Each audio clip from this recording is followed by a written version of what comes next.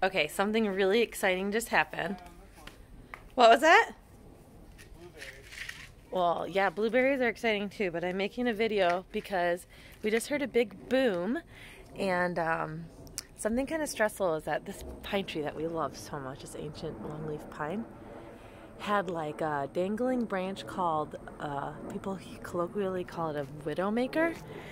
And um, we had arborists come out for tree trimming service and trim it a little over a year ago and they totally missed the memo. We said just get that one branch.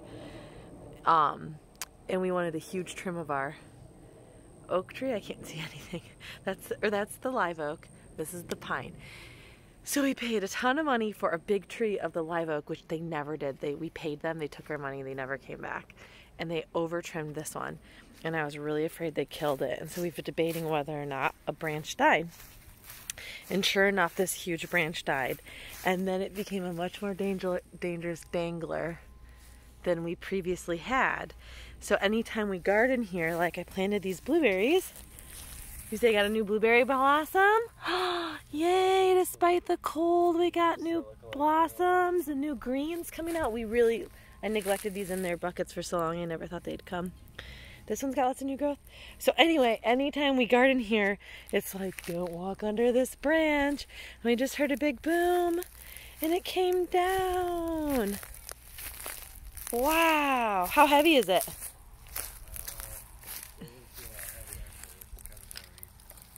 It's kind of worrying?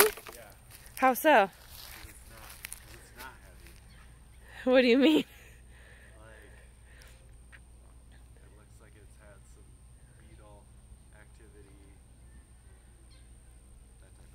Like you think more branches might die on this big beautiful tree? Yeah. Oh man. Okay, well. We love. We love this tree. Everything looks healthy now, I guess. Yeah. Except no, I guess.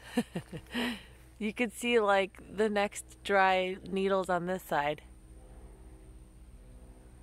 Well, the the blueberries are going to love the acidity from the pine. And we might get some nice resin here. Ooh, feel how resinous this is. Look at all this. Cool. So we can make some fun stuff with this. Um, and then, oh my god, smells so good. Smell this. Where's Lucky? We got such a bountiful yard. Mmm, that is lovely. Wow. Um, and the other thing is it did hit the power line on its way down. And our power is still on. So, hooray! Risk.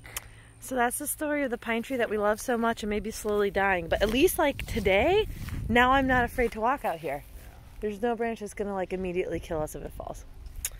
And we've had, we had a frost two mornings ago and all these big banana trees are doing great. Here will be our next crop when these are ready. It's a very long update from our yard, but we love you and I'm just so thrilled that we heard this boom. It didn't kill any of our trees. Didn't kill any of our people.